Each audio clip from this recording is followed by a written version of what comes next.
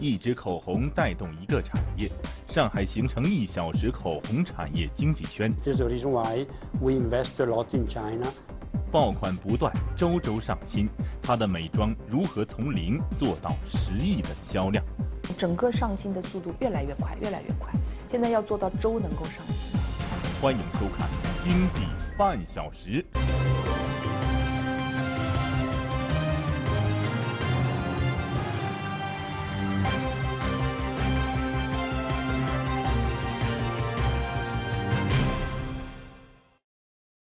观众朋友，大家好，欢迎您收看《经济半小时》，我是主持人李宇飞。你知道时下的直播购物卖的最火的是什么吗？是口红。有的网红直播十五分钟就能够卖掉一万五千支口红。统计数据显示，近一年购买五支以上口红的女性用户超过了三百万，最多的买了五百支口红。美妆市场这两年呢，都是呈几何倍数在增长，而这些增长数字背后带动的是中国美妆产业的成长。因为中国是全球最大的美妆代工基地，就在长三角形成了一个一小时口红产业经济圈。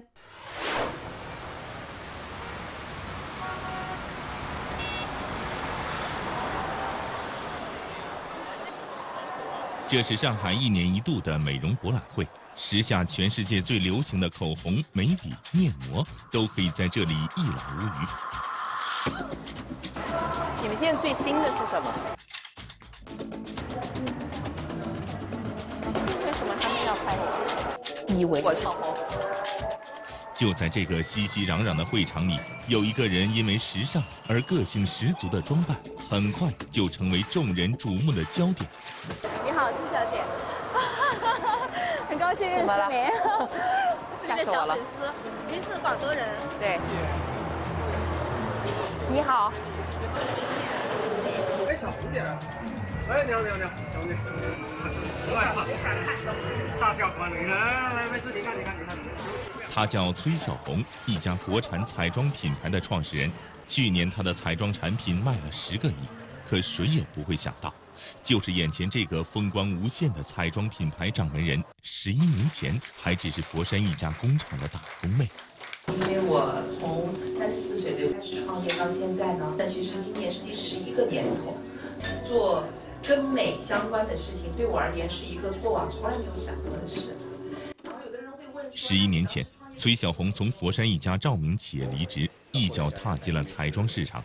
那一年，她三十四岁，没有任何经验，是个彻彻底底的门外汉。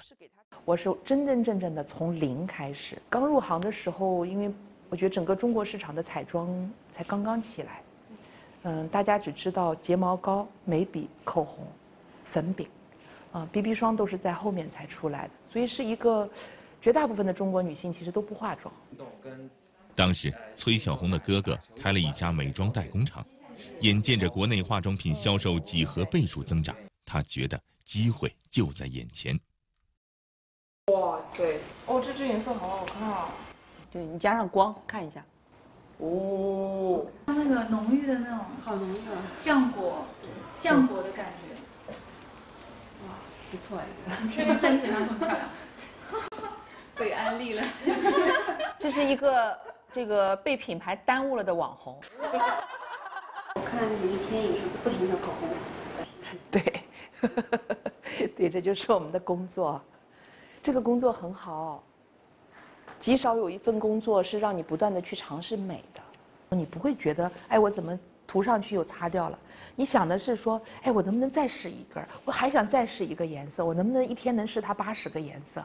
想的是这件事儿。的记录一天涂多少个颜色？我在我们刚刚开始创业的时候，一天要试十二个小时的睫毛膏，就是一直要扬着眉毛。最后我说抬头纹都是被试出来的。那段每天十二个小时试睫毛膏的日子，时至今日，崔小红依然记得很清楚。单枪匹马把产品装进后备箱，一家家店铺做推广。当时，依靠全球第一支嫁接式睫毛膏，崔小红获得了自己的首批客户。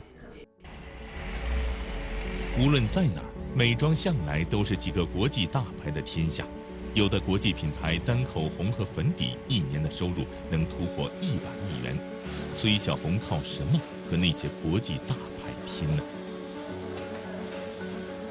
做品牌，我觉得要有这样的一个力量在，啊，否则你永远跟着别人跑，怎么可能跑跑到马拉松呢？其实中国是可以做出国际品牌的。没有哪一种产品能像化妆品这样如此快速地更新迭代。很多国际品牌每季度或者每半年一次上新，可崔小红要求自己的品牌每周都要推出新品。她坚信天下武功唯快不破。我们现在就做这种，就表现很好。我之前还有点不是很够信心啊，觉得哇妈呀，这全部是国际大牌，对。后来进来之后，我发现很多品牌还没有响应到大家特别快速的这种追星的需求，所以我们希望能够在时尚的趋势上，我们能够做到是一个引领者。然后我们会根据说今天这市场的变化，然后随时去调整，整个上新的速度越来越快，越来越快。现在要做到周能够上新。上新速度的背后，源于崔小红背靠中国完整的化妆品产业链。二零零八年，她在上海奉贤创立了自己的品牌。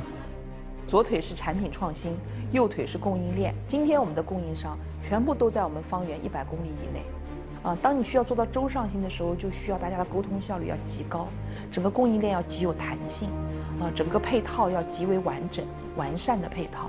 所以这个供应链体系的搭建，对我们而言，现现在已经成为叫最核心的一个非常强的一个竞争力。从研发到原料，再到生产线。今天的中国拥有完整的化妆品产业配套。仅以化妆品的包装材料为例，全世界百分之八十的化妆品包材产自中国，这些都为国产品牌提供了强大支撑。我觉得有一个特别简单的判断方式，就是如果美国上的话，我们就可以全面叫 review 这个品牌。刚刚是聊到说，有可能两三年之后会在国外推出我们的对。可能不需要两三年，对，但是因为这个我们都要去做准备，说不定半年呢。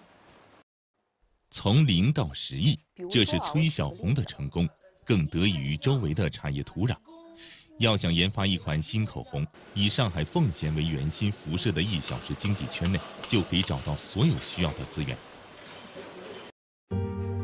这是二零一八年双十一期间的一款爆款彩妆——雀鸟缠枝美食剑。产品上线仅一分钟，销售额就超过了一百万，而这款产品同样出自上海奉贤的一家企业。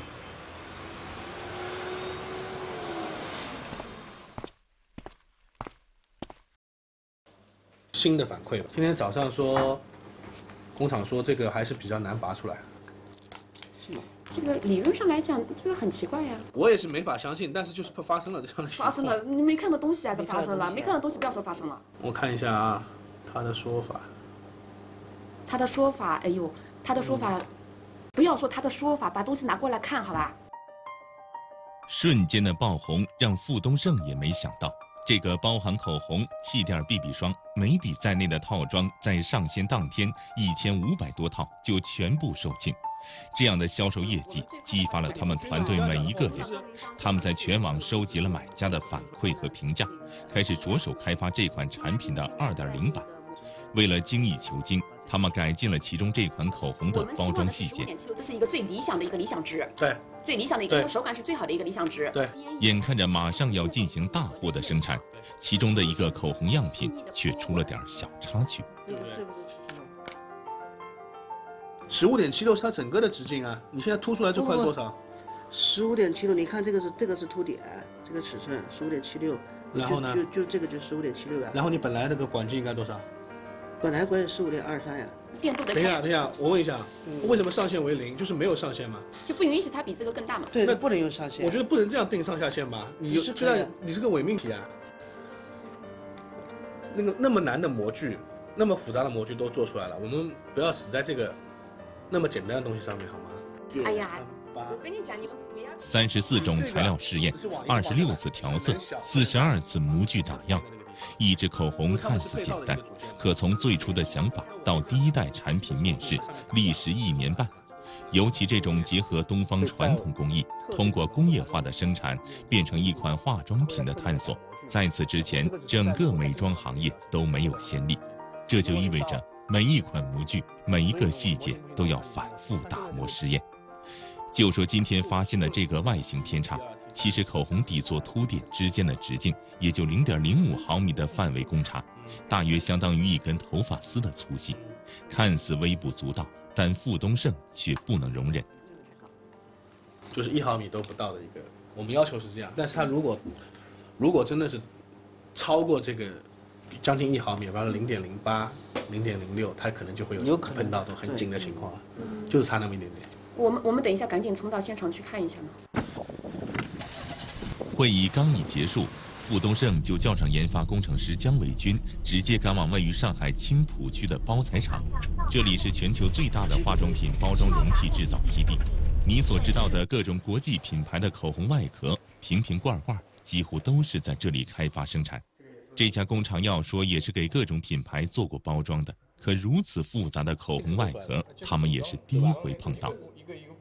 十七个，加上这个七个，十七个部件。这个制造过程比较复杂。嗯。因为这个，呃，六个六个片贴上去是一片片的，贴上去的是非常耗人工的，它只能靠手工贴。那个就是我们刚才就是上午碰到一个问题啊，就是说工厂反映过来的，就是说我们现在这个比较难拉开。嗯。难拉开呢？刚才讨论看看是不是这个模具的问题。我现在担心的就是什么呢？就是说再加上他们会去打码。可能夹着去打码的时候。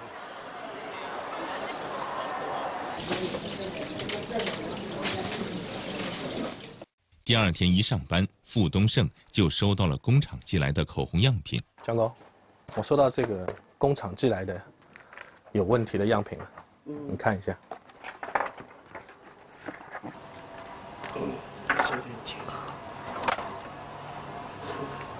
后我们我们会现在给。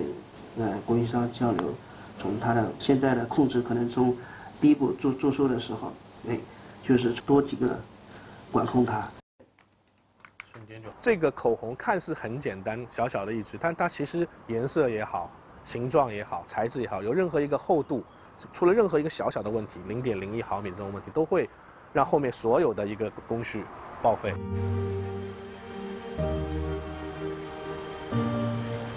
这里是位于奉贤区萧南路上的科斯美诗，它的另一个名字是超级代工王。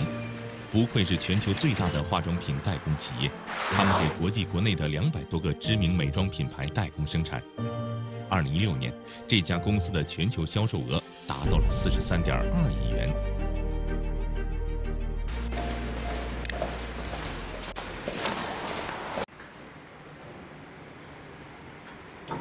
这里是科斯美诗的中国研发中心。每一个小时，这里都会研发出至少一款新品上市。沈玲玲是这里资历最深的口红研发经理，她正在为客户开发一款外观独特的口红。在众多彩妆产品中，口红一直稳占 C 位。在中国。仅口红一年的销售额就超过六十亿元，超过三百万中国女性消费者一年平均要买五支口红。调色是口红开发过程中最为关键的环节，沈玲玲正在溶解混合不同的单一颜色色浆，为调色进行最初的准备工作。做的是一款口红，是一款雾面的口红，然后要一个持续的温度，所以这边是一个。呃，一个扩温电炉，扩温电炉保证我们的呃料体的温度在一定的温度，在七十五到八十度，一个液体的状态，然后进行一个均质，这样让我们的颜色更充分的混合。三十分钟后，玻璃器皿里的红色液体变得完全均匀。接下来，沈玲玲还需要进行一些细微调整。刚刚是偏眉，现在现在我们加加入黄去调整，就是白色。大概是加到了一点五到两克。我们现在用的整秤的话都是非常精准的，保证我们每次实验的误差控制在一个很小的范围内，很好的去达到我们那个产品的一个最终需要的一个颜色。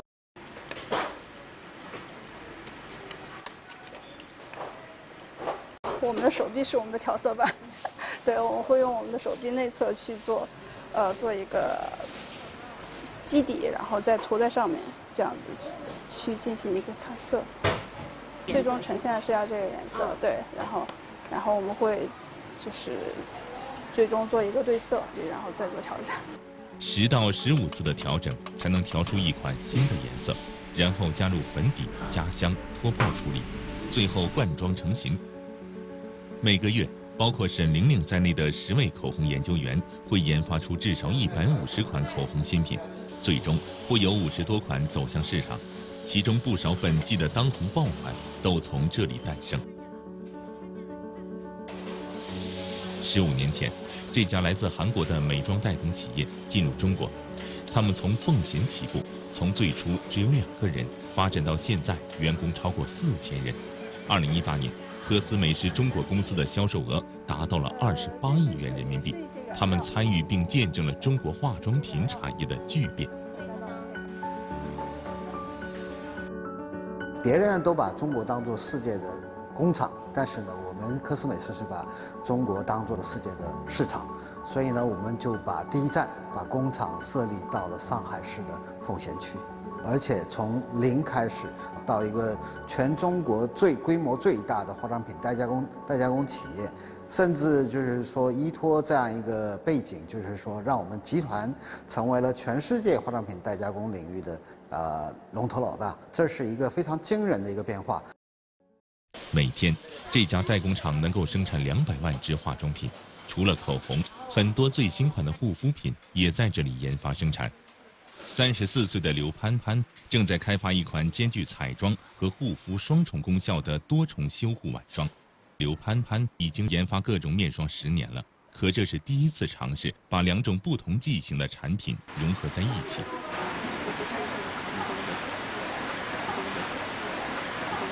现在的话有一个产品需要测试，就是明显的效果，上面毛孔比较大，然后数值的话明显减少了。从市场一个规律来看的话，彩妆产品和护肤产品的界限越来越模糊，就是有一部分彩妆的功能，有一部分护肤的一些功效的产品越来越多，所以这也是我们最近研发的一个方向。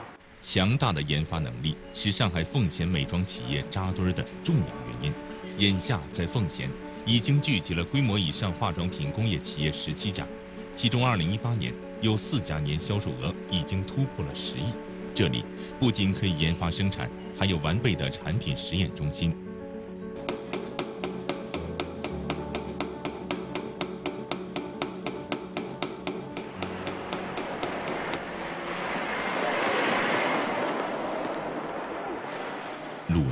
正在研制一款全新的防晒霜。这这个质地我们能接受吗？就是很油是吧？对呀，因为它如果无泪，它就是肯定是延展性会比较差。延展性比较差的话，你涂抹的时候你的感觉肯定不好。我们只知道研制一款高科技产品经常需要十年磨一剑，没想到研制一款防晒霜也要历时八年。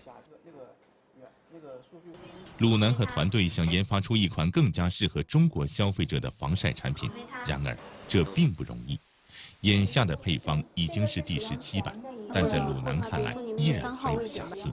因为我们产品的刺激性啊、安全性一般是两个维度的，一个维度是皮肤的刺激性，一个维度是眼睛的刺激性。一般来说，我们的护肤品是不考虑眼刺激性的，但是呢，我们这个产品想要它更温和，我们就希望它也同时也没有眼刺激性哈。增加一个维度。对，就是这，就是说给自己。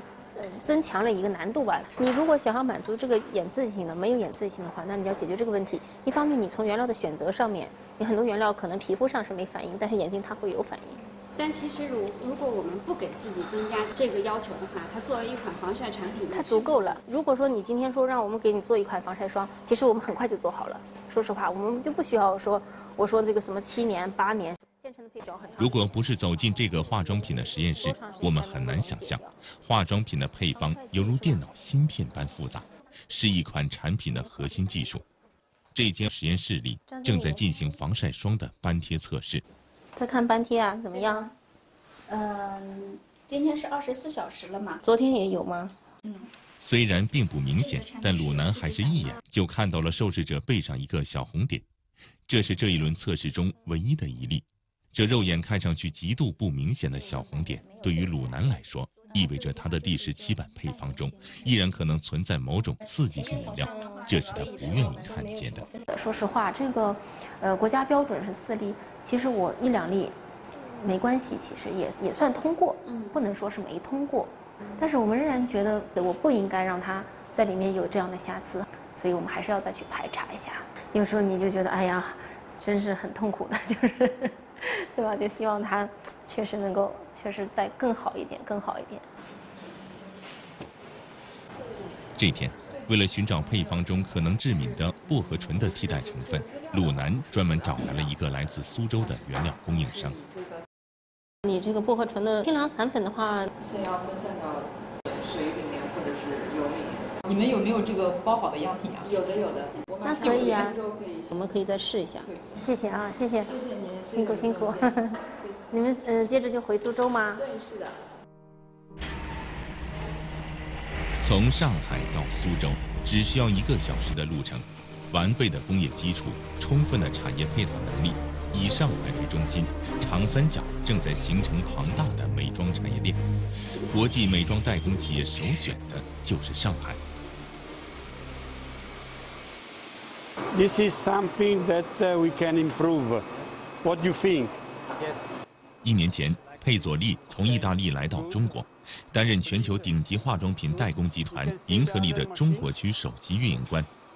他把来到中国后的首站选在了上海奉贤。这家工厂是盈特利在上海的子公司盈特菲乐，专门生产各种彩妆笔，产品近千种，全球百分之四十的眉笔、眼线笔、遮瑕笔都是从这里生产的。如果不是走进这家工厂，我们也没想到，小小的一支笔里面还有这么多学问。This is the new product that we just produced start from a couple months ago. Is the two color in the same lead. It's important that the two formula is possible to fill together. 这是英特菲勒刚刚给一家韩国品牌研发的遮瑕笔，要把两种颜色的料体分两次灌装进模具，料体和模具的温度控制都极其严苛，每一度的误差都会导致笔芯出现异常。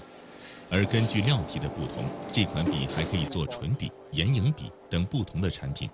这是英特菲勒刚刚研发的新产品，投入市场才一年时间，销量就达到了七十万支，又成了爆款。二零一八年，这家工厂每天生产各种彩妆笔六十五万支，如果把它们连到一起，长度近一百公里。佩佐利告诉记者，过去两年，英特利集团在全球的业务增长是百分之八，而在中国的增长达到了百分之二十五，因此未来。公司还打算要扩大在中国的生产规模。We think not just me, but Intercos think is that in the future the market in China should be very good, and uh, this is the main reason why we think that Intercos and Interfila can grow in China, because now Chinese people like to use uh, cosmetic, like to use uh, makeup, and sure the business in China should be the best sell sell the best market where we can sell our product. This is our thing. This is the reason why we invest a lot in China because we are sure that market in cosmetic, in beauty in China should be the best, the best market for the future. 看到了吧？因为看好中国市场的未来，这几家世界级的美妆代工厂都在加大对中国的投资。中国是全球最大的化妆品消费市场。二零一八年，中国彩妆市场的零售额达到了两千六百亿元，同比增长了百分之九点六。从美妆的热销，我们可以看到中国市场的消费潜力在逐级释放，而消费也已经连续五年成为了经济增长的第一动力。二零一八年，消费支出对 GDP 的增长贡献率达到了百分之七十六点二。进一步释放消费潜力，将成为拉动经济增长的关键因素。好，今天的节目到这里就结束了，感谢您的收看。了解更多节目内容，您还可以下载央视财经客户端。稍后欢迎您继续关注中央电视台财经频道的其他节目。再见。